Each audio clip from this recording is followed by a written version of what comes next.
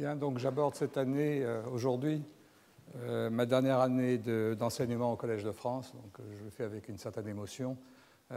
pendant les 15 années qui ont précédé, j'ai enseigné la physique que je pratique dans mon laboratoire de recherche, c'est-à-dire la physique qui est liée au contrôle et à la manipulation de systèmes quantiques simples pour euh, apprendre des choses d'abord sur les propriétés non intuitives de la physique quantique, la notion, les notions d'intrication, de superposition d'états, et éventuellement euh, développer des dispositifs ou démontrer euh, des opérations de logique quantique qui pourraient un jour servir soit pour la communication, soit pour le calcul quantique ou la simulation des phénomènes quantiques. J'ai eu l'occasion dans ces cours de vous parler de beaucoup de de physique intéressante, de la physique faite avec des ions piégés, de la physique faite avec des atomes interagissant avec des champs et des cavités, de la physique faite avec des atomes froids qui sont refroidis et piégés dans des pièges optiques. Et dans tous ces domaines, euh, la manipulation des systèmes quantiques a joué un rôle très important pour développer euh, notre connaissance sur le monde quantique et la possibilité de l'utiliser afin d'exploiter au mieux la logique quantique. Je voudrais, dans cette dernière année, euh, élever un petit peu le débat, parler de domaines de la physique atomique et de l'optique que je n'ai pas eu l'occasion d'aborder dans les cours antérieurs, en essayant de présenter un panorama général de cette physique et de la façon dont elle a évolué au cours des 50 dernières années. En fait, j'ai eu la chance donc de pouvoir euh, exercer mon activité de chercheur sur cette période de 50 ans qui a commencé euh, au milieu des années 60 euh, et qui a été caractérisé par euh, un dynamisme absolument exceptionnel.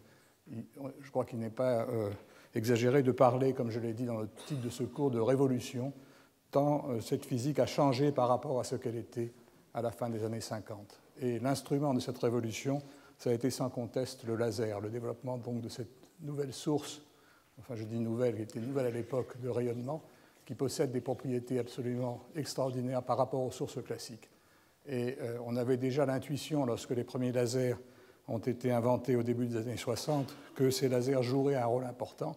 Mais je dois dire que même les plus imaginatifs euh, des chercheurs et des scientifiques de l'époque ne, pouvaient pas réaliser à quel point euh, ces sources allaient vraiment révolutionner la physique.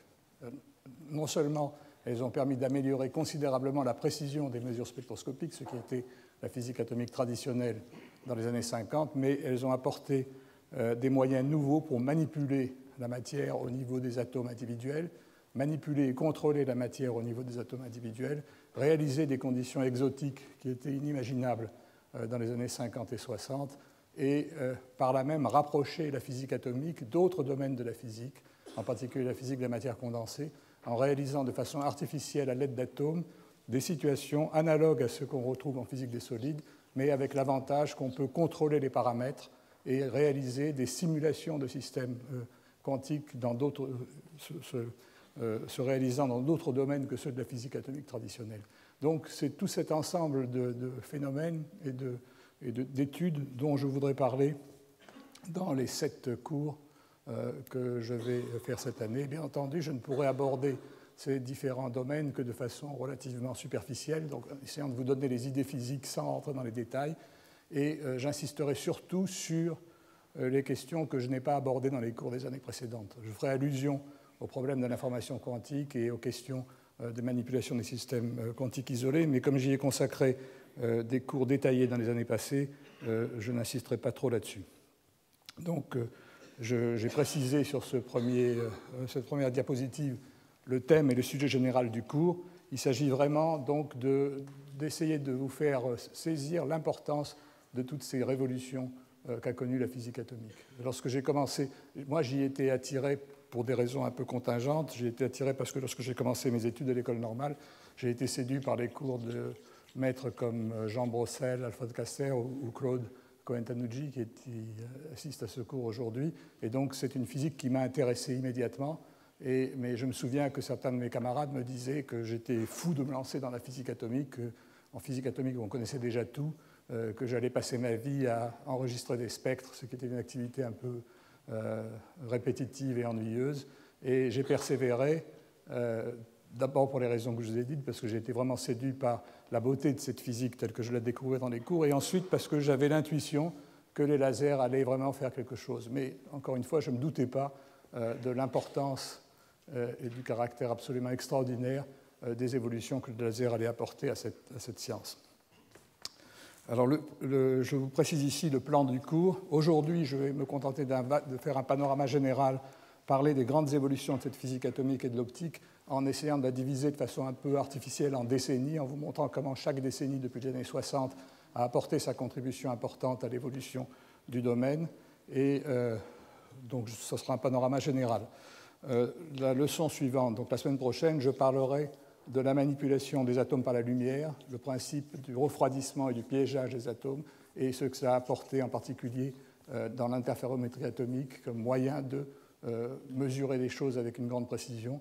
Alors j'ai conscience, il y a dans cette, cette, assistance des gens qui ont travaillé dans ce domaine beaucoup plus que moi, et donc je, euh, suis content qu'ils soient là, mais je, parlerai un peu sous leur contrôle et je me contenterai de décrire les idées générales de cette physique.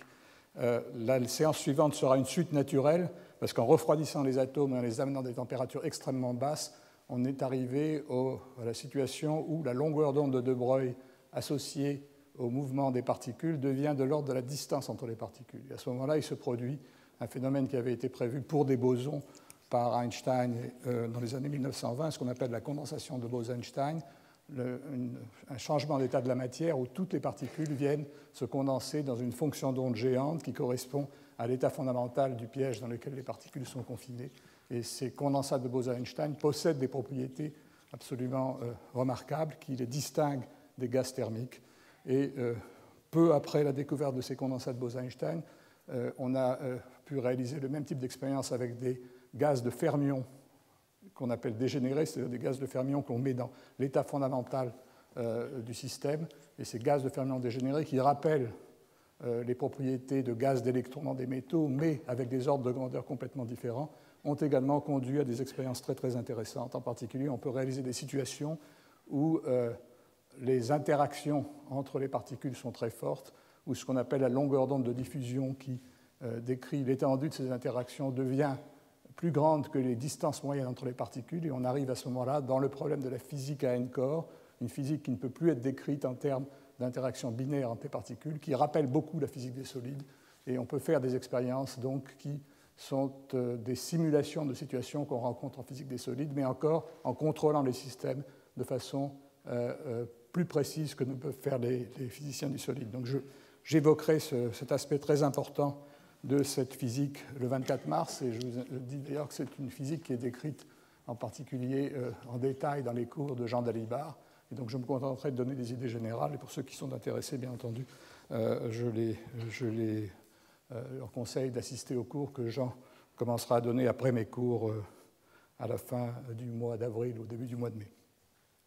La quatrième leçon portera sur un autre aspect important de cette physique, qui est le contrôle des particules quantiques isolées alors c'est un domaine que j'ai abordé dans les cours précédents, mais je le reprendrai de façon générale en indiquant comment euh, le fait que l'on travaille non pas sur des grands ensembles d'atomes, mais sur des, atomes ou des particules que l'on peut individualiser, manipuler une à une, a changé de façon considérable la perspective et la façon dont on effectue la physique atomique euh, depuis euh, quelques années. Enfin, la cinquième leçon portera sur la mesure précise du temps et sur le contrôle des impulsions lumineuses très courtes. Et ça, il s'agit d'une avancée de la fin des années 90 très importante qui a révolutionné la précision avec laquelle on peut mesurer des intervalles de temps en particulier. Et euh, j'insisterai sur les ordres de grandeur gagnés. Et lorsqu'on atteint tellement d'ordres de grandeur aussi importants, il ne s'agit pas simplement d'une évolution quantitative, mais qualitativement, on peut faire des choses qui étaient inimaginables avant. Et j'essaierai de vous en dire quelques mots. La sixième leçon portera non pas sur la mesure du temps, mais sur l'observation des phénomènes ultra rapides, sur le fait que les lasers permettent de réaliser des impulsions lumineuses très très brèves, qui entrent maintenant dans le domaine des attosecondes. Une attoseconde, c'est 10-18 secondes, et qu'on peut, grâce à ces lasers, effectuer des expériences de nature stroboscopique, où on peut étudier en temps réel l'évolution de la distribution électronique euh, d'électrons dans un atome ou dans un solide, et donc on révolutionne la physique des phénomènes ultra rapides. Donc ça, ce sont euh, ces six premières leçons je parlerai finalement de l'apport des lasers à la physique fondamentale. Qu'est-ce que, les lasers ont apporté comme instrument qui nous permet de comprendre de façon plus profonde ce qui se passe euh, dans le monde naturel? Donc c'est de la recherche pure.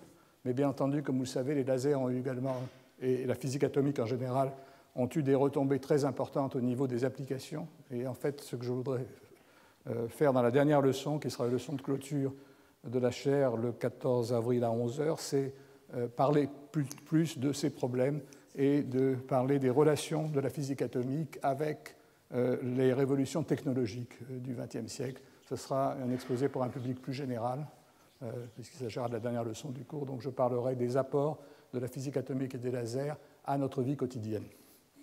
Donc voilà l'idée générale. J'ai précisé sur le euh, transparence sur la diapositive suivante les séminaires. Donc comme on dit, ces séminaires sont euh, associés au cours. Ils portent sur des sujets voisins du cours. Je euh, j'en dirai quelques mots.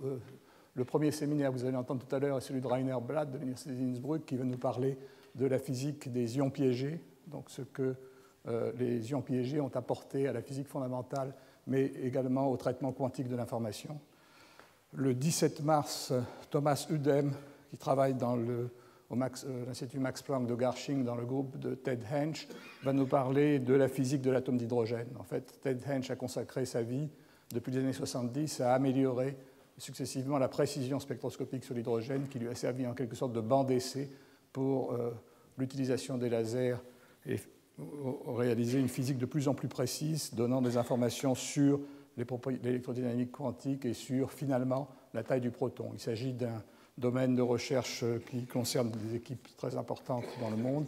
Euh, le groupe de TEDENGE travaille en particulier en collaboration avec le groupe de l'école normale, euh, avec euh, François Biraben et Paulin Delicato en particulier. Et il va nous parler donc de cette recherche qui porte également sur le problème de la taille du proton.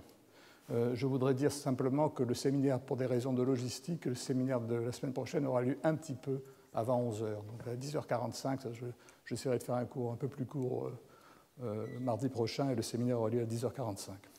Le 24 mars, donc, on aura le plaisir d'accueillir Claude Cohen-Tanucci qui va nous parler des états noirs en physique quantique, c'est-à-dire l'importance des superpositions d'états et comment ces superpositions d'états qui ne peuvent plus absorber du rayonnement ont joué un rôle important dans différents domaines de la physique des atomes froids, de la physique de la propagation euh, dans les milieux non linéaires en particulier. Et enfin, les deux derniers séminaires, le 31 mars et le 7 avril, euh, seront donnés par Wojciech Zurek, qui est un spécialiste des problèmes de décohérence et d'interprétation de la physique quantique en termes de décohérence et de pointer states. Alors je lui ai demandé de venir parce que euh, ceux qui ont suivi mes cours des années précédentes euh, ont réalisé qu'une grande partie des expériences qu'on a faites, en particulier sur les, états qu'on appelle des chats de Schrödinger de lumière, euh, étaient basées largement théoriquement sur les idées de Wojciech-Zurek concernant la décohérence des systèmes quantiques. Donc il m'a semblé intéressant de lui demander de nous parler euh, de cela et de ses dernières idées sur la décohérence et ce, qu'il appelle le darwinisme quantique, c'est-à-dire le fait que dans le monde quantique, certains états sont favorisés par rapport à d'autres et que cette euh, ce, caractère qui les favorise, qui les distingue des autres, présente des aspects analogues euh, au darwinisme que l'on connaît en biologie. Donc voilà pour les séminaires. Et j'aborde maintenant donc cette première leçon. Euh, je vais commencer par une brève histoire des cinq dernières décennies, comme je vous l'ai dit, en essayant de distinguer des étapes qui montrent l'évolution de cette physique. il m'a semblé également important ensuite de vous donner quelques ordres de grandeur et de vous montrer comment on peut mesurer par l'évolution des ordres de grandeur dans différents domaines les gains que les lasers ont apportés à la physique au cours de cette période. Je dirai quelques mots euh, de la notion de superposition de l'état et d'interférence quantique qui joue un rôle en quelque sorte unificateur. Chaque fois qu'on effectue une expérience maintenant sur ces systèmes, eh bien, on fait appel à cette notion de superposition d'état et on utilise souvent les interférences quantiques dans des interféromètres pour fabriquer des appareils qui permettent d'augmenter la résolution et la précision des mesures. Je dirai ensuite quelques mots des relations de cette physique atomique avec d'autres branches de la physique, mais également euh, de la chimie ou de la biologie. Et euh, enfin, je conclurai en donnant euh, un ou deux exemples de lasers qui possèdent des propriétés extraordinaires si on les compare à des systèmes, à des sources naturelles de l'époque précédant les lasers. Donc commençons par l'histoire. et bon, je rappelle sur cette diapositive quel était l'état des connaissances à la fin, au cours des années 50. C'était la décennie qui a précédé mon arrivée en physique, donc mon entrée à l'école normale supérieure. Qu'est-ce qu'on savait sur la physique atomique à cette époque-là? Eh bien, on connaissait évidemment la structure des atomes. Euh, elle, était, basée sur euh, la théorie quantique qui avait déjà 20, à 30 ans d'existence à l'époque. Donc on savait, à l'aide de l'équation de Schrödinger ou euh, du formalisme de Heisenberg, comprendre la structure des atomes simples. On savait, à l'aide de méthodes d'approximation variationnelle, déterminer la structure des atomes plus complexes et même des molécules. Et on s'intéressait beaucoup au magnétisme, c'est-à-dire aux propriétés magnétiques des atomes, à l'existence du d'un magnétisme électronique de nature orbitale et de nature intrinsèque de spin. Le couplage entre le magnétisme orbital et le magnétisme de spin donnait lieu aux structures fines des raies spectrales et euh, l'existence de euh, moments magnétiques dans les noyaux donnés par leur couplage avec le magnétisme électronique, naissance à la structure hyperfine. Donc tout ça, c'était bien connu. Le comportement de ces raies dans des champs magnétiques ou électriques, ce qu'on appelle l'effet Zeeman et l'effet Stark, était connu également et exploré par des expériences de spectroscopie. Et on savait même qu'il fallait aller au-delà, d'abord tenir compte des effets relativistes, c'est-à-dire remplacer l'équation de Schrödinger par l'équation de Dirac, et que même au-delà de la prise en compte de ces effets relativistes, il fallait tenir compte de, des perturbations apportées au système atomique par les fluctuations du vide. Le fait que l'électron qui tourne par exemple autour de l'atome d'hydrogène peut émettre et réabsorber virtuellement des photons et que ce nuage de photons virtuels qui entoure l'atome modifie la position des niveaux d'énergie. Il y avait en particulier une déviation par rapport aux prédictions de l'équation de Dirac qui disait que les deux premiers niveaux excités de l'atome d'hydrogène, l'état 2s et l'état 2p, qui sont dégénérés euh, d'après l'équation de Dirac, avaient une petite levée de dégénérescence qu'on appelle euh, depuis le déplacement de Lamb, le Lamb shift. Et ce Lamb shift avait été observé et mesuré avec une précision euh, qui était modérée à l'époque, mais qui était bien réelle. On savait également que le moment magnétique de l'électron n'avait pas la valeur que lui donnait l'équation de Dirac, mais était légèrement modifié, ce qu'on appelle le rapport gyromagnétique anormal de l'électron. Et donc tout cela était bien connu, et euh, c'est ce qui faisait dire aux gens qu'on était à une période où on allait simplement raffiner sur de la physique bien connue. Euh, je dois signaler également que l'étude, en particulier du magnétisme, avait connu un progrès spectaculaire avec l'invention de la résonance magnétique nucléaire, le fait qu'on peut exciter des moments magnétiques à l'aide de champs de radiofréquence et étudier le comportement de ces moments magnétiques, non seulement dans les gaz, comme le faisait Rabi dans les années 30, mais également dans les solides et dans les liquides. Et je pense que la première révolution euh, qui a été apportée à ce domaine de connaissance, ça a été dans les années 50 et au début des années 60, euh, l'invention des méthodes optiques de la résonance magnétique et euh, le laboratoire qui s'appelait Laboratoire de spectroscopie hertzienne, euh, dirigé par Kastler et Brossel, a joué un rôle essentiel dans ce domaine.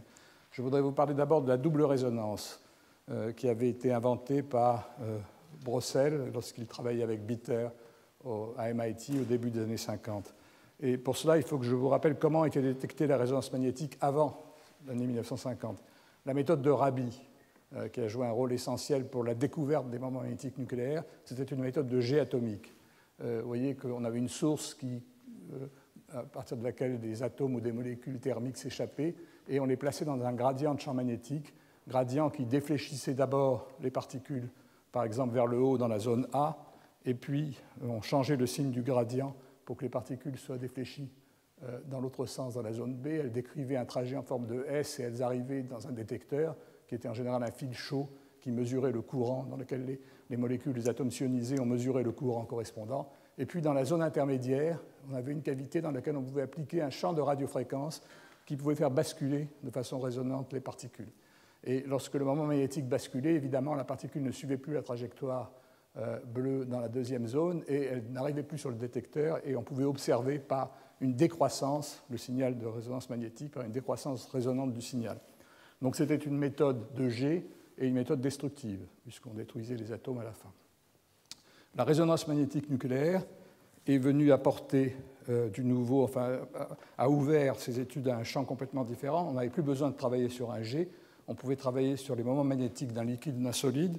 Donc le principe de la méthode, découverte par Bloch et Purcell en 1945, c'était d'avoir un échantillon dans de liquide ou de solide ici, de lui appliquer à l'aide de bobines un champ de radiofréquence qui faisait basculer les moments magnétiques et de détecter ce basculement sur le champ rayonné par les moments magnétiques eux-mêmes. On avait une deuxième euh, euh, bobine qui servait le rôle d'antenne et qui détectait les variations des courants induits dans cette antenne. Et on étudiait comment ça variait en fonction de la fréquence du générateur. Et ainsi, on avait pour chaque euh, espèce qu'on étudiait dans le milieu solide ou liquide un spectre de fréquence qui était comme une signature de cette espèce. Et cette signature pouvait être perturbée par l'environnement. Si l'environnement des molécules ou des atomes changeait, si le, champ électrique ou le champ magnétique était perturbé par des atomes voisins, l'élargissement, le déplacement des raies renseignait sur ces effets. Et donc ça a été vraiment une technique extrêmement puissante euh, qui a été appliquée ensuite à la chimie, à la biologie. Mais vous voyez que c'est une technique où la détection est encore relativement difficile, puisque c'est une détection qui s'effectue sur des photons de radiofréquence, qui sont des photons qui transportent une énergie faible et qui ne sont pas tellement faciles à détecter. D'autre part, elle est très sensible à la température. Il faut qu'il y ait un moment magnétique dans le système, donc il faut qu'il y ait une différence de population entre les niveaux magnétiques, ce qui euh, fait appel au facteur de Boltzmann, et ce facteur de Boltzmann est très petit, euh, à moins qu'on soit dans des champs magnétiques intenses. Ça explique pourquoi, par exemple, l'application de la résonance magnétique à l'imagerie médicale nécessite d'enfourner les patients dans des champs euh, magnétiques très intenses, de façon à créer cette différence de population. Alors ces problèmes ont été résolus lorsqu'on fait de la spectroscopie des gaz par la méthode de double résonance mise au point par euh, Brossel et Bitter.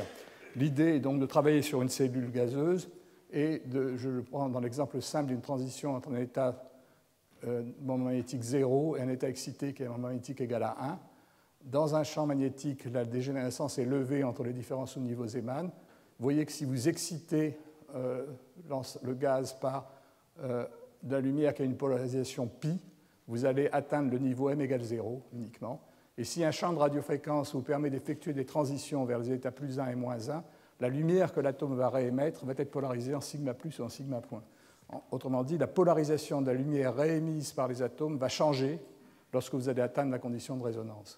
Et donc vous allez détecter cette résonance magnétique non plus sur des photons radiofréquences peu énergétiques, mais sur le changement de polarisation de la lumière de fluorescence réémise par le gaz, lumière, photons qui ont une énergie de l'ordre d'un électron-volt, c'est-à-dire des plusieurs ordres de grandeur plus grandes que celles des photons de radiofréquence. La méthode devient extrêmement sensible.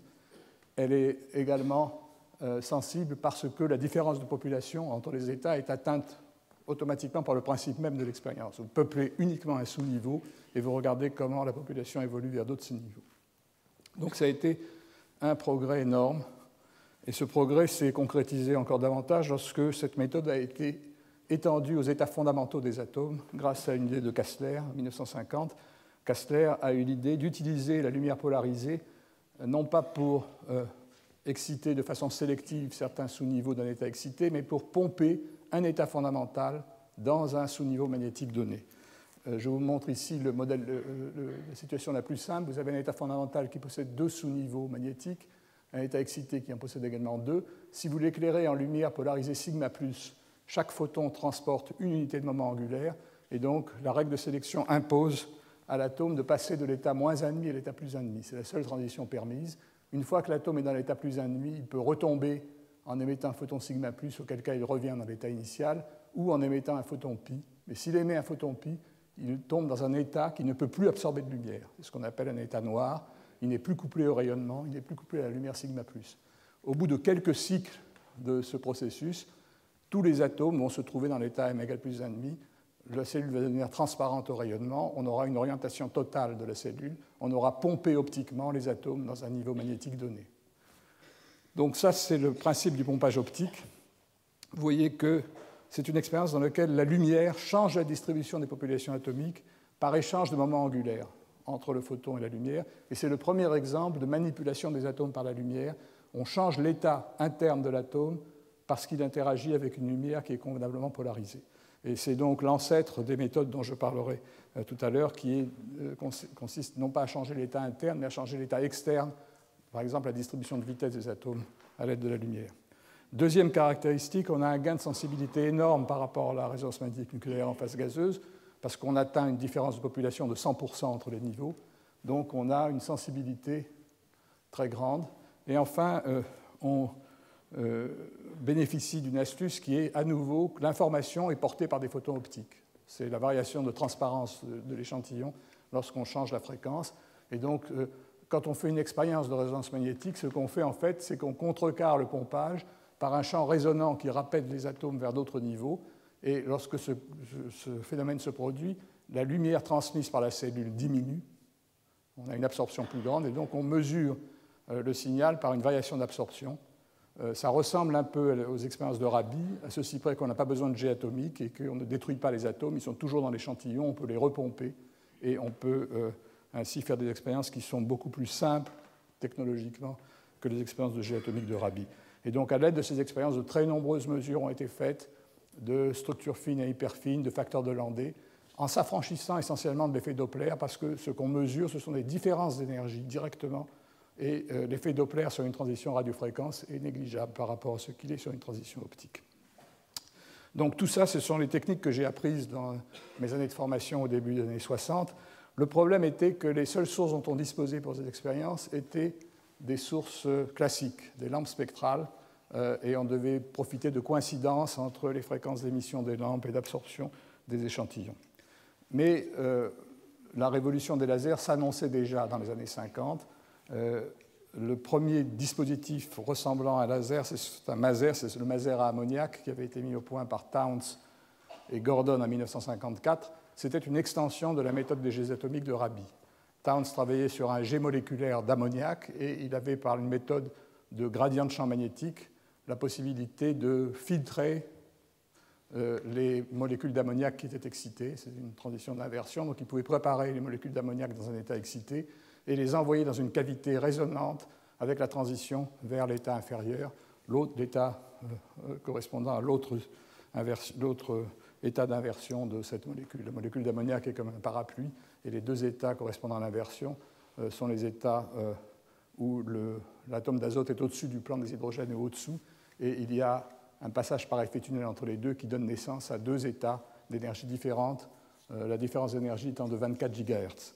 Donc il a été capable de pomper ces atomes dans l'état supérieur et réaliser une inversion de population suffisante pour que le système accroche sur le bruit radiofréquence et donne naissance à un oscillateur extrêmement stable qui a été le premier Maser.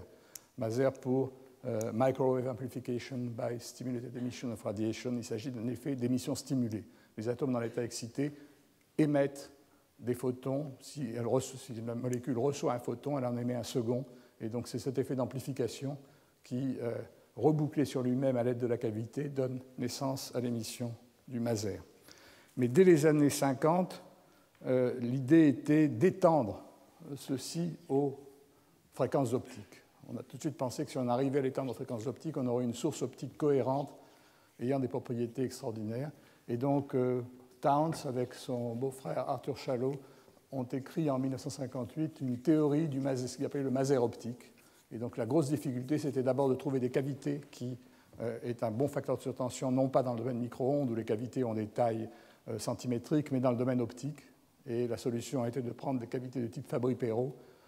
les, les, filtres Fabry-Perot existaient déjà depuis près d'une centaine d'années pour la spectroscopie, mais donc l'idée de mettre deux miroirs l'un en face de l'autre pour de façon amplifiée à, avoir un, facteur de surtension de qualité important pour la lumière qui aussi qui, euh, euh, se réfléchit sur les deux miroirs, mais il fallait trouver le bon milieu amplificateur. Et euh, Towns et Chalot, étant des physiciens de la matière gazeuse, pensaient à des gaz et Towns en particulier pensait que les méthodes d'inversion de population de pompage optique de Caster pourraient servir. Et euh, il était venu euh, quelques années avant que j'arrive au laboratoire, dans les années 50. Je pense que Claude Contenus se souvient de cette visite. Towns était venu passer quelques mois au laboratoire de spectroscopie hertzienne pour essayer d'apprendre ces méthodes d'inversion. je profite de cette occasion pour rappeler la mémoire de ces deux physiciens. Towns vient de mourir, il est mort il y a quelques semaines donc presque centenaire, et il a vraiment joué un rôle essentiel dans toute cette physique. Et euh, son beau-frère Arthur Chalot euh, était également un grand physicien, c'était quelqu'un que j'ai bien connu puisque j'ai fait mon stage postdoctoral dans son laboratoire et on aura l'occasion d'en reparler tout à l'heure. Mais donc ils ont fait cette théorie du maser optique et comme souvent en physique, on a des surprises. En fait, c'est un autre physicien qui travaillait, qui ne connaissait pas d'ailleurs les travaux de Towns et Chajot, et qui travaillait sur des solides, en particulier sur un cristal de rubis. Donc le rubis, c'est une matrice d'alumine dans laquelle il y a des impuretés qui sont des ions de chrome. Et lui, comme il connaissait un peu la spectroscopie des solides, il a euh, essayé de réaliser une inversion de population dans ces ions de chrome. Alors, je vous montre ici le schéma euh, euh, très, très simplifié des niveaux. Vous avez des bandes de niveaux excités dans l'ion chrome. Par pompage optique à l'aide d'une lampe flash, on peut réaliser, porter les atomes dans l'état excité, qui ensuite, par une transition non radiative rapide, vont vers un niveau sur lequel on réalise une inversion de population entre ce niveau et l'état fondamental en impulsion, et le système peut amplifier du rayonnement dans le rouge à 694 nanomètres. Et donc ça a été le premier laser euh, qui a été mis au point en mai 1960. Un laser à fréquence fixe et en impulsion. Quelques mois plus tard, Ali Javan, qui lui était un étudiant de Towns et qui donc travaillait sur des gaz, a mis au point le premier laser à gaz, qui est un laser, ce qu'on appelle un laser à hélium-néon. C'est un laser dans lequel on a un mélange d'atomes d'hélium et de néon, et l'inversion de population s'effectue de façon indirecte. Une décharge électrique prépare des ions, des atomes d'hélium dans des états excités, et par collision, cette excitation se transfère à des atomes de néon, et on réalise ainsi des inversions de population, non pas avec l'état fondamental, mais entre des niveaux excités de l'atome de néon. Et je vous montre ici trois fréquences sur lesquelles ces, atomes de néon peuvent amplifier la lumière et donner lieu à un effet laser, en particulier une raie visible à 633 nanomètres rouge, qui est la raie euh, bien connue euh, du laser hélium-néon, qui pendant longtemps a été le laser prototype euh, qui permettait de faire des expériences simples avec les lasers et l'arrêt à 3 microns 39 dans l'infrarouge, qui est également très importante pour des raisons que je vais indiquer dans un instant. En fait, le problème à cette époque-là, c'est que ces lasers avaient des fréquences fixes et que si on voulait faire de la spectroscopie, il fallait profiter de coïncidences entre les fréquences que ces lasers voulaient bien émettre et les fréquences que des corps voulaient bien absorber. Et une de ces coïncidences très importantes est celle euh, du laser à 3 microns 39 du laser hélium-néon avec une raie de vibration euh, de euh, la liaison carbone-hydrogène dans le méthane. C'est une raie à 88 THz, donc à 3 microns 39, et les physiciens se sont aperçus dès les années 60 qu'on pouvait exciter avec le laser hélium-néon cette raie moléculaire. Et en fait, c'est en mesurant avec précision la longueur d'onde et la fréquence de cette raie moléculaire que à la fin des années 60 et au début des années 70, on a eu une première mesure ultra précise de la vitesse de la lumière. En mesurant à la fois la fréquence et la longueur d'onde, on a eu la vitesse de la lumière et c'est ce qui a conduit à la nouvelle définition du mètre. Je me souviens d'ailleurs de cela parce qu'à l'époque j'étais étudiant à Paris et l'un des physiciens qui faisait ces expériences euh, à Boulder s'appelait Barger, c'était quelqu'un qui travaillait avec un, autre physicien qui est John Hall et Barger dans l'été 1970 a amené à Paris le premier laser stabilisé sur le méthane pour faire des expériences de métrologie au bureau des poids et mesures à Paris. Euh, c'était pendant l'été 70. Je pense que Claude était en vacances et Kastler n'était pas là. Et donc, Barger s'est rabattu sur moi, si j'ose dire. Et donc, j'ai eu quelques. J'ai eu l'occasion de rencontrer Barger à cette époque, ça a été extrêmement intéressant. Donc voilà, euh, il fallait tenir compte de coïncidences. Les années 60 ont également été les années du début de l'optique non linéaire.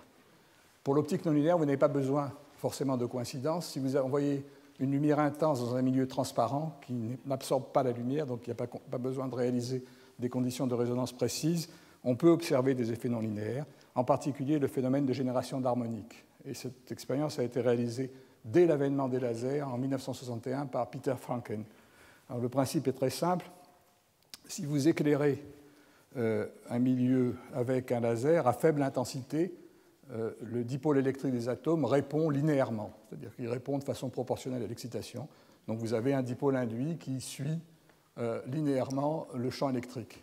Mais si vous augmentez le champ électrique suffisamment, et si vous atteignez un champ électrique dont l'intensité devient non négligeable devant les champs internes électriques de l'atome, l'atome qui n'est pas un oscillateur harmonique parfait réagit de façon non linéaire. Donc vous écrétez en fait dans sa réponse, le, champ, le, dipôle électrique écrète le, champ excitateur, et on a toujours une réponse périodique, mais une réponse périodique non sinusoïdale que l'on peut décomposer en spectre de Fourier, et on voit apparaître des harmoniques dans le spectre de Fourier.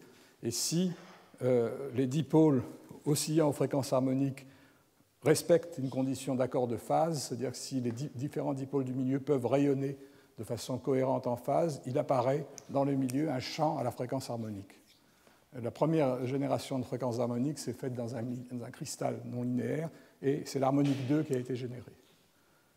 Euh, on s'est rendu compte d'ailleurs très rapidement que euh, la parité des harmoniques dépend beaucoup des conditions de symétrie du milieu. Si vous effectuez une expérience dans un gaz où les atomes ont une symétrie d'inversion par rapport au, noyau, eh bien les harmoniques paires ne peuvent pas être émis. C'est une question de symétrie par inversion. Hein. le champ électrique par symétrie par inversion, le champ électrique se retourne, donc il faut que le dipôle se retourne, et donc il faut que le dipôle réponde uniquement aux puissances impaires. donc on peut montrer de façon par des arguments plus quantitatifs que euh, les harmoniques paires sont interdits, et les premières générations d'harmoniques impaires dans les gaz ont suivi très rapidement, et donc la génération d'harmoniques est devenue un exemple d'optique non linéaire très important. Euh, Nicolas Bloombergen a commencé à travailler sur ce sujet dès ces années 60 et est devenu un grand spécialiste de l'étude des effets non linéaires. Il devait obtenir pour ça le prix Nobel en 1981. Donc voilà, la génération d'harmoniques, elle demande beaucoup d'énergie. L'ordre de grandeur que j'indique ici, c'est simplement euh, l'ordre de grandeur qui indique que le champ électrique de l'onde lumineuse devient de l'ordre du champ de Coulomb, qu'on peut exprimer de différentes façons, et ça correspond, si vous calculez l'ordre de grandeur, à des euh, des flux lumineux euh, de 10 puissance 13 watts par centimètre carré. Alors, ça ne veut pas dire qu'il faut atteindre ces flux-là pour voir des effets non linéaires, mais ça, c'est l'ordre de grandeur de, typique. On peut, dans certains cas, en bénéficiant de, conditions d'approche de, résonance, d'augmentation de, l'effet par des effets quasi-résonants, avoir ces effets-là euh, avec des puissances 10 à 100 fois plus faibles que cela, ce qui explique que ça a commencé très vite. Un autre effet non linéaire, essentiel a également été développé dès les années 60, euh, en particulier par euh, Christian Bordet en France et John Hall aux États-Unis, c'est ce qu'on appelle l'absorption saturée. Alors ça, c'est un effet non linéaire qui nécessite une coïncidence de raies. Il faut que le laser soit résonnant avec une transition atomique. Et le principe de l'absorption saturée est très élégant et très simple. Il consiste à éclairer euh, le milieu avec deux lasers contrapropageants en général un laser intense qu'on appelle le laser pompe et un laser de même fréquence propageant dans l'autre sens qu'on appelle la sonde. Et ce qu'on observe, c'est que euh, alors que dans un gaz naturel, l'absorption présente une grande largeur à cause de la distribution en vitesse des atomes, ce qu'on appelle l'effet de largeur Doppler, lorsqu'on réalise cette configuration d'excitation, il apparaît dans la sonde une raie extrêmement étroite avec une saturation de l'absorption euh, qui a une largeur qui est la largeur naturelle de la transition et non plus la largeur Doppler. Alors l'explication, je vous la donne très simplement dans les notes. Vous voyez que euh, c'est très simple. Si vous avez considéré un atome dont la projection de la vitesse sur euh, l'axe des lasers est Vz, eh bien cet atome va voir les deux faisceaux à des fréquences différentes en général à cause de l'effet Doppler. Un des faisceaux va être décalé vers le rouge et l'autre va être décalé vers le bleu. Si Vz est différent de 0, ça veut dire que l'atome en question va interagir à des fréquences différentes avec le laser se propageant dans un sens et dans l'autre. En d'autres termes, euh, la sonde va voir en général des atomes qui ne voient pas la pompe, parce que pompe et sonde euh, interagissent avec l'atome à des fréquences différentes. Ceci est vrai sauf si Vz est égal à zéro. C'est-à-dire que si on considère la nappe d'atomes qui se propage dans un plan perpendiculaire à la direction des deux lasers. Dans ce cas-là, la sonde et la pompe interagissent au centre du profil Doppler avec la même classe de vitesse. Et ça, ça veut dire que si la pompe est intense, elle va égaliser les populations entre les deux niveaux et elle va rendre le milieu transparent pour la sonde, puisqu'il n'y aura plus d'inversion de population pour la sonde. Et donc on voit apparaître au centre du profil Doppler un pic de transmission très étroit qui est une structure insensible à l'effet Doppler. C'est un, peu comme si dans un gaz où les atomes avaient toutes les vitesses possibles, cet effet non linéaire sélectionnait la nappe d'atomes perpendiculaire au laser En d'autres termes, qu'on transforme une expérience en cellule et une expérience en G, ou en tout cas en nappe d'atomes dont les vitesses sont bien sélectionnées. Alors cet effet d'absorption saturée, il a été immédiatement testé sur ce fameux laser à hélium-néon, coïncidence avec l'arrêt du méthane, et euh, il a servi à border à John Hall et à Barger à faire les expériences auxquelles je faisais allusion tout à l'heure et à la mesure de la vitesse de la lumière très précise. La condition de saturation maintenant devient DE non pas égale à h bar oméga atomique, mais égale à h bar gamma, et donc on peut effectuer ces expériences avec des champs beaucoup, beaucoup moins intenses que euh, ceux dont je parlais tout à l'heure.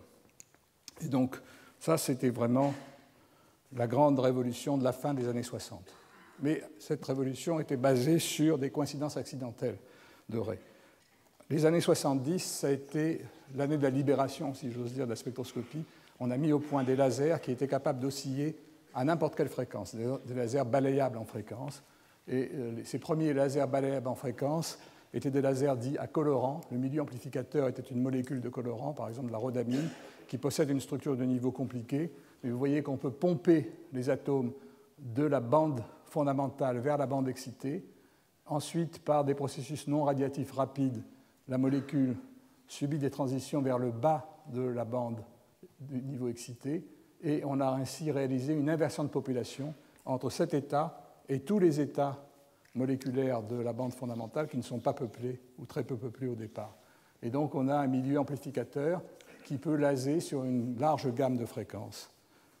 Ces premiers lasers à colorant, dont vous voyez ici une photo, c'est une photo des premiers lasers à colorant mis au point par Ted Hench à Stanford, fonctionnaient en impulsion. C'est-à-dire qu'on avait un jet de colorant euh, qui circulait dans une cellule Ici, ce jet de colorant été pompé par un laser en impulsion à azote. Vous voyez ici la lentille qui focalise le, laser sur qui focalise l'excitation sur cette cellule. Et la cavité était constituée par un miroir d'un côté et de l'autre côté un réseau dont on pouvait changer l'inclinaison. Et ce réseau rétro-réfléchissait dans la direction du, euh, de la cavité laser une longueur d'onde. Et simplement en tournant ce réseau, on balayait en fréquence le laser. Et donc c'était un système extrêmement simple et là, j'ai assisté vraiment personnellement à la mise au point de tout ça, parce que c'était le moment où je suis arrivé à Stanford en 1972 que ces premiers lasers étaient mis au point. Et euh, et Hensch les ont immédiatement appliqués à la spectroscopie du plus simple des atomes, qui est l'atome d'hydrogène. Et voici, euh, ça c'est la transition entre l'état n égale 2 et n égale 3, ce qu'on appelle l'arrêt de Balmer alpha. Voici le profil de cette raie avant les lasers. Vous voyez que euh, les rayons ont une largeur de l'ordre de 10 GHz, de quelques gigahertz, c'est la largeur Doppler, et on résout à peine la structure fine de l'état excité qui est de 10 GHz. Et la première expérience faite par Hensch et Chalot avec, par absorption saturée sur de l'hydrogène a donné ce spectre ici. Vous voyez que toute la complexité du spectre est résolue. je ne vais pas rentrer dans les détails, ça met en évidence à la fois la structure fine de l'état excité, la structure hyper fine de l'état fondamental et le lamp shift.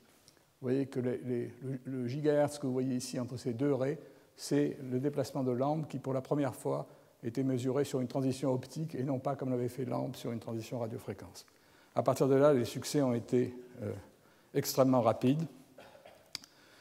une autre astuce qui a permis euh, d'augmenter la précision spectroscopique toujours dans les années 70, ça a été une autre méthode non linéaire qui est ce qu'on appelle la spectroscopie à deux photons sans effet Doppler. Alors là encore, j'ai des souvenirs très personnels là-dessus, puisque euh, le physicien qui a inventé cette méthode, avant même qu'elle soit réalisée expérimentalement, c'était Gilbert Grimbert, c'était un jeune étudiant à l'époque qui était étudiant en thèse avec Claude Cohen-Tanucci, et on travaillait, les premières années, on a travaillé ensemble. Moi, j'ai achevé ma thèse et lui commençait la sienne, et il a eu, juste après sa thèse, cette idée géniale mais extrêmement simple, qui est de faire absorber par un atome deux photons se propageant en sens inverse. La même géométrie que l'absorption saturée, mais cette fois-ci de faire absorber les photons de fréquence moitié de la fréquence atomique. L'idée étant que les effets Doppler se compensent, c'est-à-dire qu'un euh, même atome voit un effet Doppler vers le rouge pour le photon dans un sens et vers le bleu dans l'autre sens, et donc si la condition que la somme des fréquences doit être égale à la fréquence de la transition, l'effet Doppler s'annule. Et donc euh, Grimbert, qui travaillait à ce moment-là avec euh, Bernard Cagnac a eu l'idée de démarrer cette expérience. À la même époque, il y avait des physiciens russes. Chebotayev avait eu la même idée indépendamment. Chebotayev a donné son idée à un physicien russe très connu, Letokov, qui, cette année-là, a voyagé aux États-Unis et il a parlé de cette idée à Ted Hench et à Arthur Chalot. Et évidemment, il ne fallait pas euh, beaucoup de temps à des gens comme euh, Hench et Chalot pour réagir à une idée lorsqu'ils la trouvaient intéressante. Et simultanément, donc, le groupe de Grimbert à Paris, le groupe de Bloombergen à MIT et le groupe de Hench et de Chalot ont réalisé les premières expériences de spectroscopie à deux photons sans effet Doppler. Je montre uniquement les résultats du groupe de Parce qu'elles ont porté sur l'atome d'hydrogène, qui est extrêmement simple. Vous voyez que le spectre devait être constitué de deux raies correspondant aux transitions 0, 0 et 1, 1 de, ce spectre. L'absorption se fait à 243 nanomètres. Il n'y a pas de laser à cette fréquence-là, mais il existe des lasers à la fréquence euh, moitié, 486 euh, nanomètres, et en doublant un laser à 486 nanomètres dans un cristal, ils ont réalisé ce 243 nanomètres, et euh, la fréquence double de 243 nanomètres, c'est la raie Lyman alpha. Donc vous voyez qu'en fait, ils ont observé une raie qui, à un photon, demanderait de l'ultraviolet lointain en quadruplant la fréquence, un premier doublage de fréquence dans le cristal et un deuxième effet de doublage de fréquence qui est l'effet à deux photons en question. Et voilà, euh, euh, cette physique a fait des progrès énormes depuis. D'ailleurs, le séminaire de Thomas Soudem, qui est un chercheur du groupe de TEDench, nous en parlera la semaine prochaine, mais je vous montre simplement euh, les progrès extraordinaires. Voilà le premier spectre pris en 1974 euh, avec des lasers en impulsion. La largeur de raie était de l'ordre de 400-500 MHz et on voyait à peine euh, la structure hyper fine de l'état fondamental. Ensuite, une vingtaine d'années plus tard, on a un spectre qui ne fait plus que quelques kilohertz de large. Et puis, il y a quelques années, ils ont observé une raie de 530 Hz de large alors, en améliorant le jet atomique, en, réalisant, en éliminant l'effet Doppler et surtout en ayant des lasers de stabilité beaucoup plus grande. Vous voyez qu'en l'espace d'une trentaine d'années, on a gagné tout simplement 6 euh, ordres de grandeur sur la largeur de Ray à deux photons dans l'atome d'hydrogène. Passons rapidement maintenant aux années 80. Alors les années 80, euh, c'est là que pour la première fois les lasers ont été utilisés non pas pour faire de la spectroscopie précise, mais pour manipuler les degrés de liberté externe, ça a été l'époque du refroidissement des atomes par laser, dont je parlerai en détail la semaine prochaine. Mais euh, je voudrais simplement dire que les progrès de cette époque des années 80 sont liés à, évidemment, à, toutes des, méthodes et à des idées qui étaient en germe dans les années précédentes. L'idée de refroidir les atomes par la lumière, euh, elle venait déjà de, de travaux d'Ashkin dans les années 60, de propositions par Hench et Chalot, par Demelt et Wineland d'utiliser des faisceaux atomiques pour refroidir les atomes, pour, leur faire absorber de l'impulsion à contre-propagation, si vous voulez, pour forcer des atomes à absorber des photons venant contre eux de façon à diminuer leur vitesse. Euh, ça, c'est donc un premier, aspect essentiel des années, euh, des années 80. Euh, un deuxième aspect, c'est le développement très important de l'optique quantique. Alors, qu'est-ce que c'est que l'optique quantique? C'est l'étude des propriétés statistiques des photons émis par les différentes sources. Une source classique va émettre des photons qui ont une probabilité d'arriver sur un détecteur très différente de celle euh, euh, d'une source quantique. La source quantique élémentaire la plus simple, c'est un atome unique que vous excitez avec un laser, et un tel atome ne peut émettre qu'un seul photon. Et pour réémettre un autre photon, il faut le réexciter. En d'autres termes, les photons émis par une source, laser unique, sont dégroupés. On ne peut pas obtenir deux photons simultanément. Et euh, donc ça a été un premier effet d'optique quantique. Un deuxième effet, c'est un effet de dégroupement de photons dont je vais parler dans un instant. Mais tous ces effets avaient été prévus dans les années 60, en particulier par les travaux théoriques de Roy Glauber, mais il a fallu attendre le développement technologique des années 80 pour les observer. Euh, enfin, l'étude des systèmes quantiques isolés a également fait de grands progrès à cette époque-là. Et là, il s'agit de la suite naturelle des expériences pionnières que Hans Demmelt avait faites sur un électron unique. J'en parlerai dans la leçon correspondante, mais Hans Demmelt, dès les années 60, avait été capable d'isoler un seul électron et d'étudier les propriétés de cet électron. Et euh, dans les années 80, on a remplacé l'électron par un atome, un atome ionisé, un ion, avec une richesse de possibilités de manipulation beaucoup plus grande, puisque l'ion peut émettre et absorber de la lumière. Et donc ce sont ces expériences qui se sont développées très vite. Enfin, je dois mentionner les débuts de l'électrodynamique en cavité, c'est-à-dire l'étude des propriétés des atomes, la modification des propriétés radiatives des atomes en présence des parois d'une cavité. Et là encore, ces expériences ont bénéficié des expériences des années 70 sur les atomes de Rydberg, des atomes très excités qu'on pouvait préparer grâce au laser. J'ai beaucoup parlé de cela au cours des deux, années passées. Donc simplement quelques figures qui vont vous donner une idée de ce dont je parlerai dans les semaines qui viennent.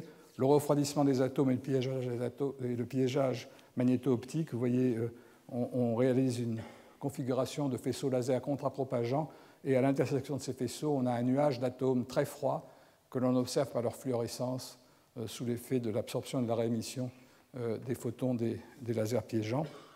Donc c'est une physique dont je parlerai la semaine prochaine. Première observation des particules quantiques individuelles, voilà un ion unique dans un piège que l'on observe par la lumière de fluorescence qu'il émet.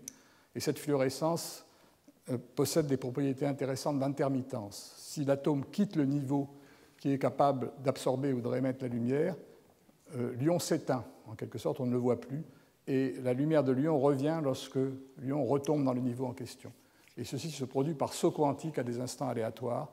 Et donc, euh, dans les années 80, on a observé pour la première fois ces sauts quantiques sur la lumière, ce qui a donné lieu d'ailleurs à beaucoup de discussions et de controverses, parce que les physiciens étaient tellement habitués à observer la fluorescence sur de grands ensembles, où ces effets sont inobservables, que certains même doutaient de l'existence de cet effet de, de saut quantique. Ces sauts quantiques sont devenus maintenant euh, la méthode naturelle pour détecter les ions uniques. Et je pense que euh, Rainer Blatt va nous en parler euh, dans son séminaire.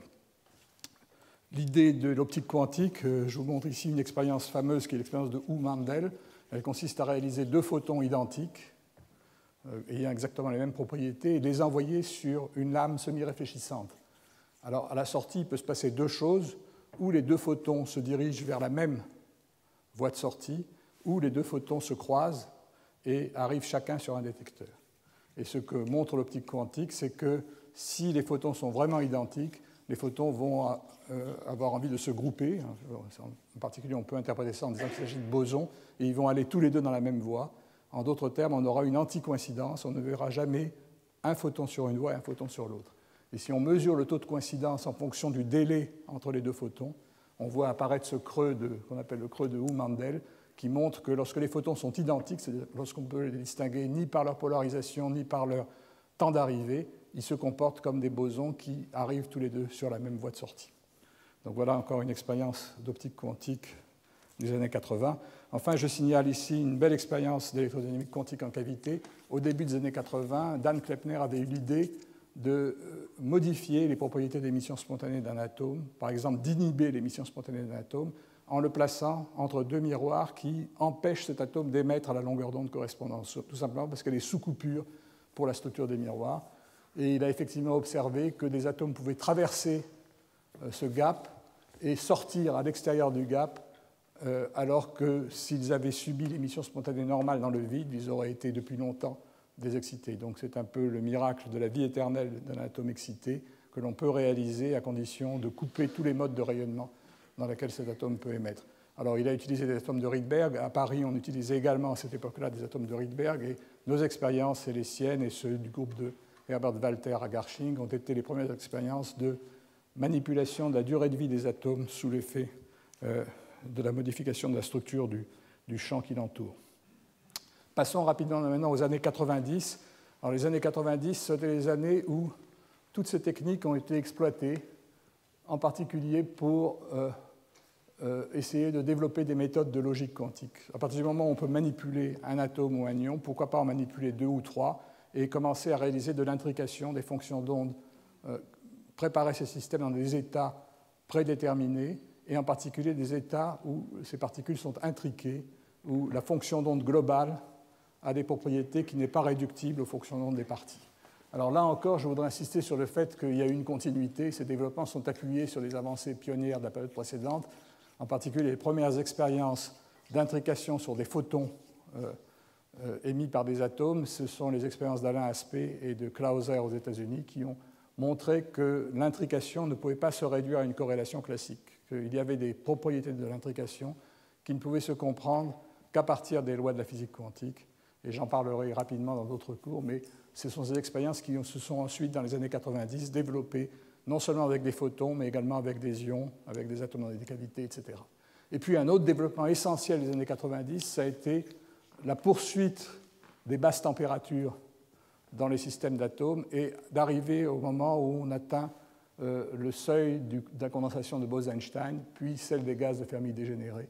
Et ce sont ces recherches qui ont donné un, coup de fouet extraordinaire à la, à la, physique atomique au cours des 20 dernières années. Donc encore quelques photos ici qui vous donnent une idée euh, un peu plus euh, graphique. Voici des chaînes d'ions dans le laboratoire de Rainer Blatt, il vous en parlera, comment intriquer des ions entre eux. Voici une, image qui nous montre le principe de l'expérience qu'on fait à Paris. On envoie des atomes successivement et par le fait qu'ils se couplent l'un après l'autre à la cavité, on peut les intriquer les uns avec les autres et fabriquer des chaînes d'atomes intriqués.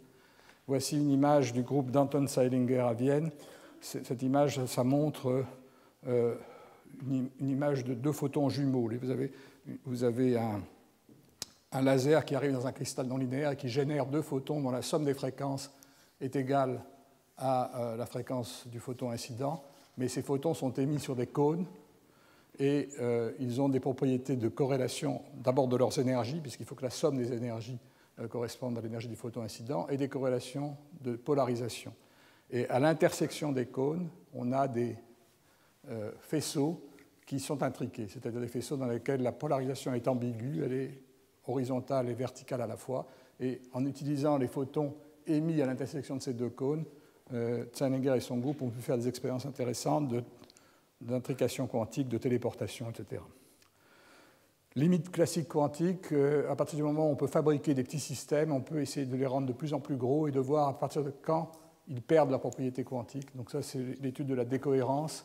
Et euh, c'est une image euh, faite dans notre groupe, je ne vais pas en parler davantage ici, mais je vous réfère au séminaire de Zurich et, de, des, 31 mars et 7 avril, où il parlera de cela. Enfin, la condensation de Bose-Einstein, donc je ne résiste pas à vous montrer euh, l'image du premier condensat à gauche. Vous voyez, euh, c'est une image qui représente vraiment la distribution des atomes dans le piège lorsqu'on diminue la température au point où tous les atomes se retrouvent dans l'état fondamental du piège, formant une fonction d'onde géante. Et on peut ensuite faire en quelque sorte dans ce piège un petit trou pour laisser les atomes s'échapper sous l'effet de la gravité, mais au lieu de s'échapper comme un gaz thermique qui perd tout de suite sa direction sa cohérence, ces atomes s'échappent comme un faisceau laser dans un pinceau matériel extrêmement fin qui procède des propriétés de cohérence analogues aux propriétés de cohérence de la lumière d'un laser. Et je parlerai de cela également euh, dans les leçons suivantes. Enfin, terminons par ce, ce bref panorama par les années 2000 et euh, donc je vais aller sur un peu plus d'une décennie, je vais aller de 2000 à aujourd'hui. Alors à nouveau, c'est la suite de ce qui a précédé, mais une suite qui a été également spectaculaire. Euh, d'abord, on a été découvert dès les années, au début des années 2000, grâce aux travaux en particulier de Hensch et de John Hall, la possibilité d'avoir des lasers qui émettent des impulsions ultra brèves, extrêmement régulières dans le temps, et qui, dans l'image des fréquences, apparaissent comme des peignes de fréquences dont euh, la distance entre deux dents du peigne successive est extrêmement bien définie. Ces peignes de fréquences ont permis de calibrer les fréquences optiques et de faire le pont entre les fréquences optiques et les radiofréquences et de mesurer de façon absolue les fréquences optiques. Et ça a, fait faire un bond spectaculaire à la fois à la spectroscopie de haute résolution et à la physique des horloges. Maintenant, on a des horloges atomiques qui ont une précision encore beaucoup plus grande que les horloges euh, à atomes de césium qui précèdent. Donc ça, ça a été un, progrès. Ce progrès a également été couplé à celui de ce qu'on appelle les atosciences, la possibilité de créer ces peines de fréquence extrêmement bien définies dans le temps a pu conduire, couplé à des méthodes d'amplification dont je parlerai, à la réalisation d'impulsions lumineuses extrêmement brèves, sub-femtosecondes, des impulsions qui durent quelques dizaines d'atosecondes à partir desquels on peut faire une physique euh, de phénomènes ultra rapides très intéressante. Ça, c'est également les années 2000. Enfin, la progression des condensats de Bose-Einstein et des gaz de fermions dégénérés qui a conduit à l'étude de toute une série de phénomènes analogues à des phénomènes de matière condensée dont je vous ai parlé. Et puis en information quantique, euh, la poursuite des expériences, mais également l'arrivée d'acteurs nouveaux dans ce domaine on peut remplacer les atomes réels, les ions, les atomes dans des cavités, par des atomes artificiels, des structures euh, euh, basées sur l'effet Josephson, sur l'effet tunnel d'une jonction Josephson placée dans un circuit convenable. Ce sont, donc des objets mésoscopiques qui possèdent des niveaux d'énergie quantifiés. On peut isoler deux niveaux dans ces systèmes et réaliser à l'aide de ces systèmes des expériences analogues à celles qu'on fait par exemple en électrodynamique en cavité. Donc j'ai également parlé de ce sujet dans des cours antérieurs, mais je voulais signaler que c'est un autre pont entre la physique atomique et la physique euh, des solides. Donc voilà quelques exemples. Une image qui montre des peines des fréquences d'horloge atomique, une image qui montre une horloge à ion euh, qui ne prend toute sa valeur que lorsqu'on peut mesurer la fréquence optique de l'ion à l'aide d'un peine de fréquence. Donc c'est à nouveau euh, des développements des années 2000. La physique des attosecondes, voilà la première image qui montre directement le champ électrique à l'échelle de la femtoseconde d'un champ, lumineux extrêmement rapide. Euh, voilà une image qui montre l'apparition de vortex, de tourbillons dans un système euh, de bosons ou de fermions extrêmement froids, donc qui ressemble à des images que l'on voit en physique des solides euh, dans des milieux supraconducteurs. Voilà une image qui montre quatre petits chips supraconducteurs qui jouent le rôle de qubits, de bits quantiques, des atomes artificiels pour des expériences d'information quantique dans ces systèmes. Donc je vais maintenant aller très vite pour la suite, simplement vous flasher quelques, quelques figures que vous avez dans, vos notes. Et je, pense qu'il est spectaculaire de montrer simplement en échelle logarithmique les progrès des ordres de grandeur dans différents domaines. Voici une image donc, que Ted a montrée qui est l'évolution de la précision spectroscopique sur l'hydrogène. Vous voyez donc en échelle logarithmique sur l'axe des ordonnées la précision et les années sur l'axe des abscisses. Avant les lasers, la précision était de l'ordre de 10-6. Il n'y a pas de mystère. 10-6, c'est l'effet Doppler. C'est le rapport entre la vitesse des atomes et la vitesse de la lumière. C'est la précision que avez des expériences, ces patates que je vous ai montrées tout à l'heure dans le spectre optique. À partir du moment où les lasers sont arrivés, vous avez la courbe rouge, donc un décrochement sur la pente, et vous atteignez 10-9, 10-10 sur la mesure des fréquences. Et puis ensuite, il y a un deuxième décrochement qui est autour des années 90-2000, l'arrivée de la mesure directe des fréquences grâce aux peines des fréquences. Et vous voyez que là, un progrès qui nous amène pour la mesure de l'hydrogène jusqu'à quelques 10-15. Donc vous voyez que vous avez 9 à 10 ordres de grandeur gagnés sur la précision spectroscopique en quelques années.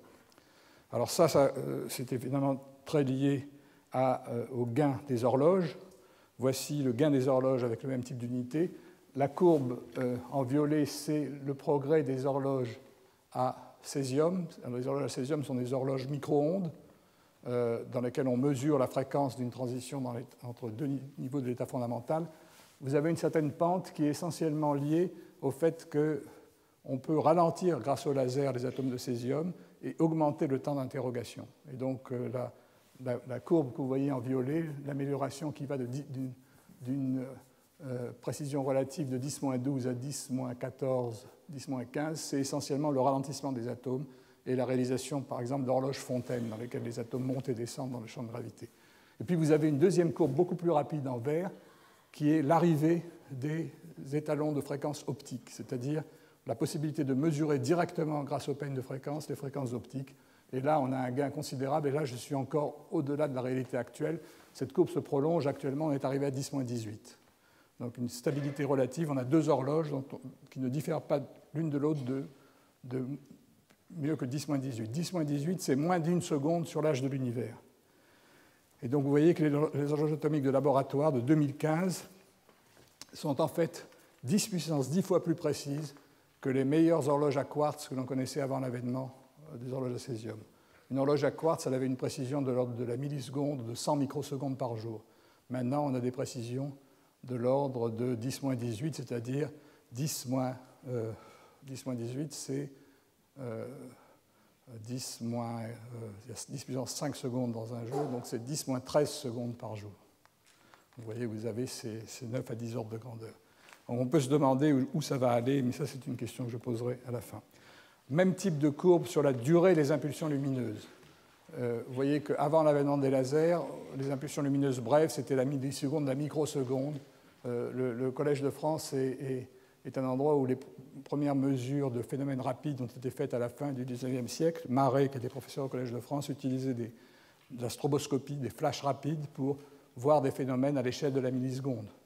On a étendu ça à l'échelle de la microseconde peut-être dans les années euh, au XXe siècle, mais c'est le développement des lasers, en particulier des lasers à mode verrouillé, qui a permis d'arriver à un domaine de l'ordre de quelques femtosecondes dans les années 80.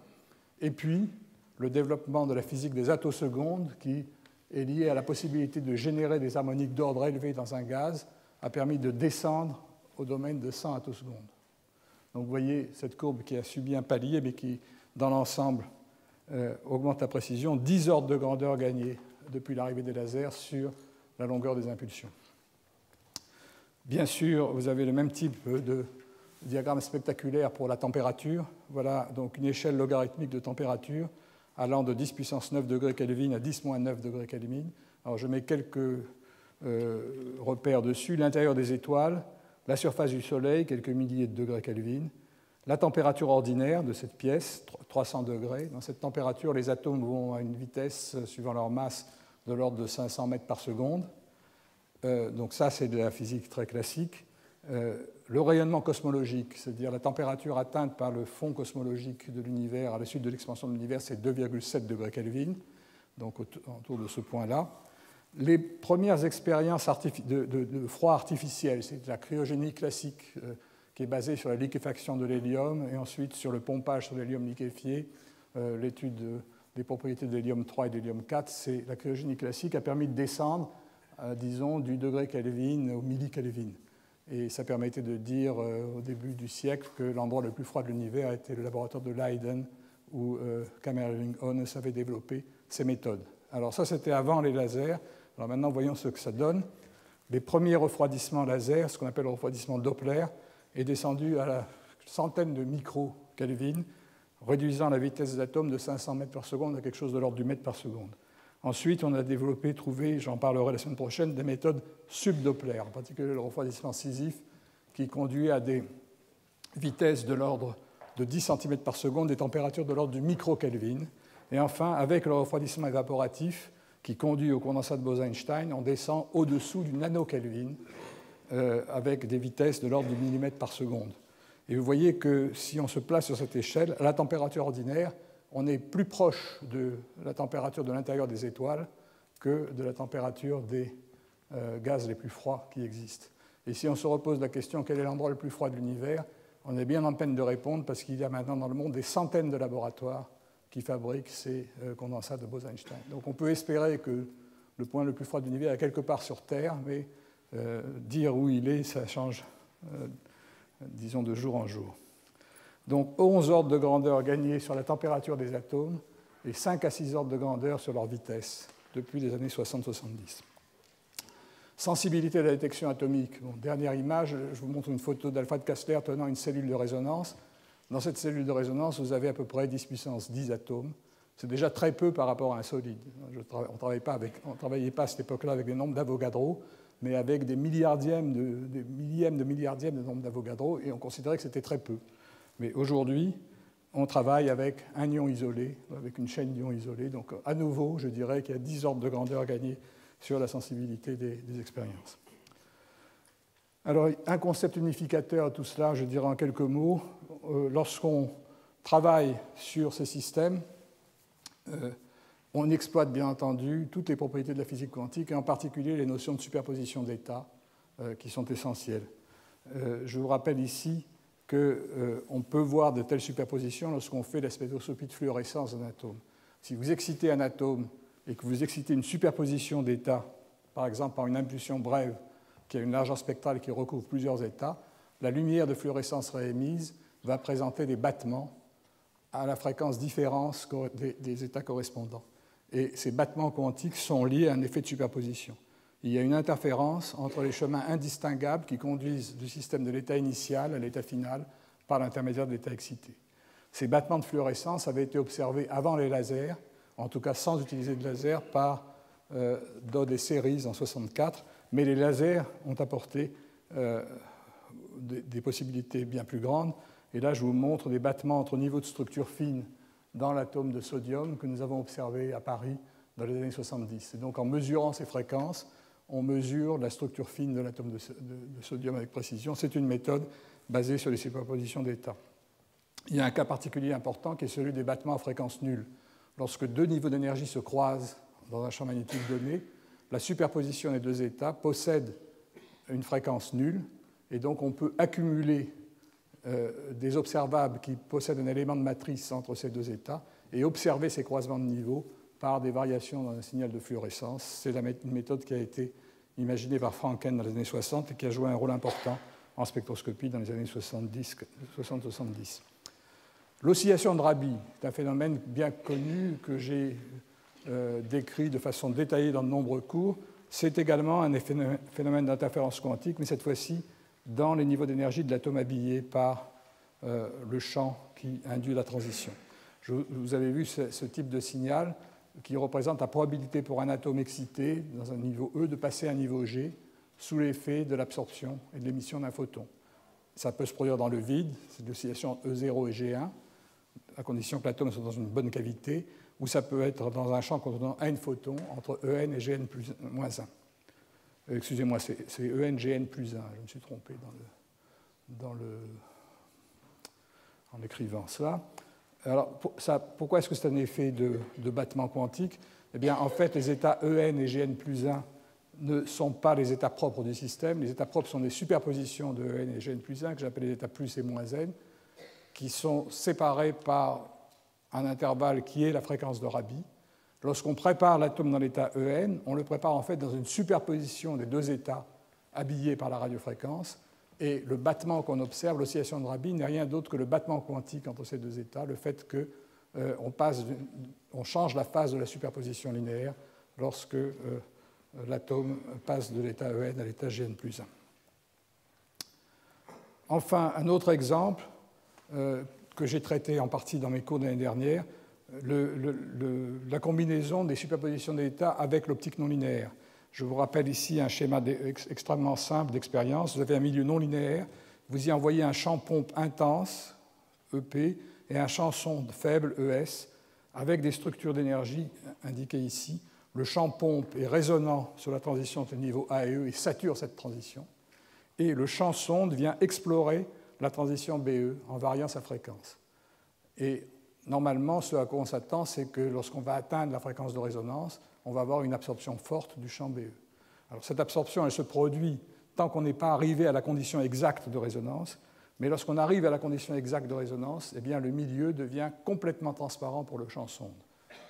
Autrement dit, le champ intense a induit électromagnétiquement la transparence du champ pompe à une fréquence bien déterminée, c'est la fréquence qui correspond à cette condition euh, d'effet.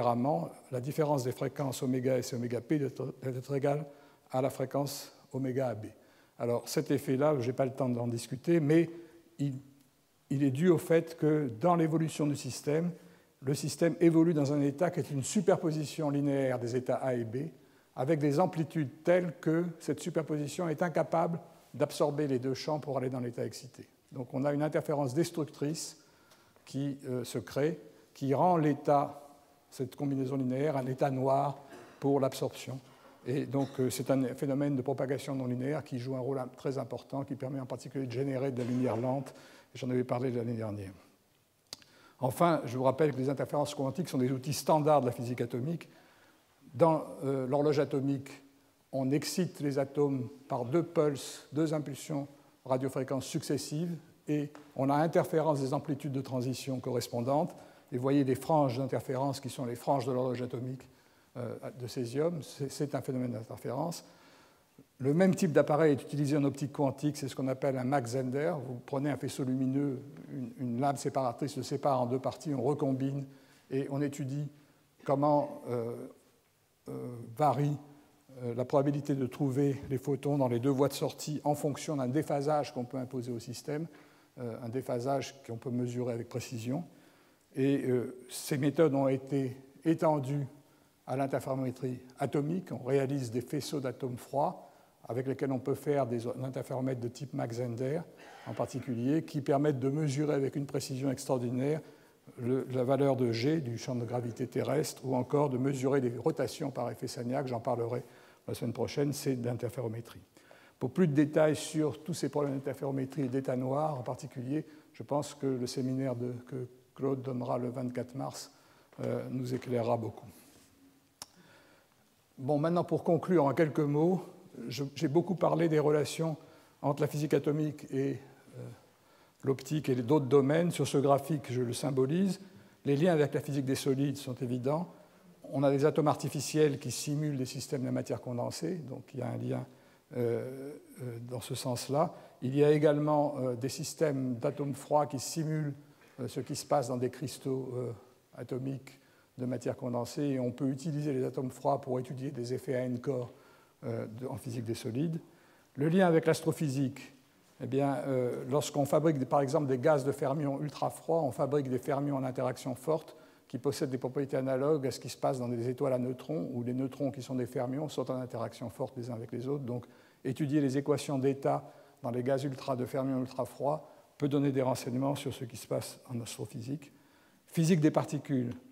Euh, on a toute une branche de la physique atomique dont je n'ai pas parlé qui consiste à étudier les violations de symétrie en faisant des mesures extrêmement précises. Par exemple, essayer de voir si euh, l'électron possède un moment dipolaire électrique euh, c'est une de ces expériences qui permet de mettre des limites à certaines théories de physique des particules qui vont au-delà du modèle standard. On peut également se demander si les constantes fondamentales évoluent au cours du temps, ce qu'on peut faire en comparant des horloges atomiques extrêmement précises basées sur différents éléments, et ça donne également des renseignements sur la physique des particules. Chimie et biologie, les impulsions attosecondes, c'est un moyen d'étude de processus euh, moléculaires extrêmement rapides, de processus atomiques ou de processus biologiques même, je signale également euh, le dernier prix Nobel de chimie, qui est en fait de la physique, c'est comment battre la limite de diffraction optique euh, grâce à des méthodes astucieuses utilisant des lasers, comment on peut détecter des molécules uniques dans des molécules euh, de, biologie en particulier. Et donc cette microscopie à résolution moléculaire fait un pont évident entre la physique et la chimie. Enfin, avec la science de l'information, bien sûr, tout ce qui est l'information quantique. Et ces différents domaines ont des relations entre la science de l'information et la physique des solides, l'astrophysique et la physique des particules, par exemple. Donc j'insiste là-dessus parce qu'il y a 50 ans, c'était beaucoup moins évident. Les communautés de physique des matières condensées, de physique atomique et d'astrophysique étaient complètement imperméables les unes aux autres. Et maintenant, euh, il faut vraiment importer des concepts, euh, fertiliser mutuellement ces domaines en sachant ce qui se passe dans les différents domaines. Donc j'ai résumé ça sur euh, cette diapo, dont je vais passer. Alors je termine à nouveau par quelques ordres de grandeur pour comparer la lumière pré-laser avec la lumière laser. D'abord, lumière continue. Quelle, source de lumière plus simple qu'on peut prendre? Source de lumière intense que celle du Soleil. Et quelle source de lumière intense peut-on considérer plus importante que, enfin plus euh, forte que le four solaire géant qui est construit près de Font-Romeu qui concentre, donc il y a des miroirs paraboliques qui font de l'ordre de 1000 mètres carrés et qui concentrent cette lumière sur une surface de l'ordre de 1 dixième de mètre carré. Bon, la puissance que vous obtenez, le four solaire, il a une puissance de 1 mégawatt, et ce mégawatt, il est concentré sur un millier de centimètres carrés au foyer, donc ça fait 1, 1 kW par centimètre carré. Donc ça concentre la lumière solaire par un facteur 10 puissance 4. La lumière solaire, c'est 1 kW par mètre carré, et vous arrivez à le mettre à peu près sur 1 centimètre carré. Bon, ça c'est ce qu'on peut faire de mieux avec une source classique. Avec un laser, vous prenez un laser à CO2 continu de 50 kW et vous le concentrez sur une tâche de l'ordre de la longueur d'onde 10 microns au carré. Vous obtenez 10 puissance 10 watts par centimètre carré. Donc vous avez déjà un progrès de 7 ordres de grandeur. Et donc là, ce n'est pas de l'eau que vous allez faire bouillir, mais vous pouvez faire bouillir n'importe quel métal. Et en fait, vous pouvez servir de ces faisceaux pour faire de la découpe de métaux. Ça, ça avait été euh, noté dès les années 60. Le premier James Bond montre une scène où on voit le personnage attaché sur une, sur une planche métallique et comment un laser vient découper jusqu'à atteindre euh, euh, un endroit dangereux pour le, pour le héros. Mais ça, c'est des lasers continus. Si vous passez à des lasers en impulsion, alors là, vous, dépassez toutes ces limites. Si vous prenez un laser en impulsion femtoseconde, tel qu'on peut le construire sur une table expérimentale, ce que les anglo-saxons disent tabletop dans les universités, vous pouvez atteindre des puissances raides de 10 puissance 14 watts. Et si vous les concentrez sur une tâche de diffraction, vous arrivez à 10 puissance 21 watts par centimètre carré. Alors là, ce sont des puissances qui donnent des effets non linéaires euh, gigantesques. Vous allez encore mieux si vous prenez des grandes installations. Prenez des installations qui peuvent réaliser des lasers pétawatts, 10 puissance 15 watts, alors, soit sur des impulsions relativement courtes, et là vous pouvez le faire avec des installations pas trop grandes, soit si vous êtes vraiment mégalomane, vous allez au ce qu'on appelle le laser mégajoule, et vous faites ça sur des impulsions nanosecondes. Euh, donc une, nanoseconde, 10 puissance 15 watts, c'est le mégajoule, et vous arrivez à des concentrations de 10 puissance 22 watts par centimètre carré. Et enfin, il y a un projet européen euh, qui s'appelle le projet ELI, qui, euh, dont le but ultime est de construire des lasers de 200 pétawatts qui donneront des puissances de 10 puissance 24 watts par centimètre carré. Alors ces puissances-là, les, les, particules sont accélérées, deviennent ultra-relativistes. On a des effets euh, également ce qu'on appelle de Wakefield acceleration. On, fabrique n'importe quelle matière devient un plasma, et ce plasma peut accélérer des particules, des électrons en particulier, à une vitesse et avec des énergies proches de celles qu'on obtient, euh, de l'ordre de celles qu'on obtient dans les accélérateurs les plus puissants. Et donc certains pensent qu'un jour, les accélérateurs de particules vont devenir des, microsystèmes à l'aide de ces lasers. je dirai quelques mots de ça euh, dans la sixième leçon.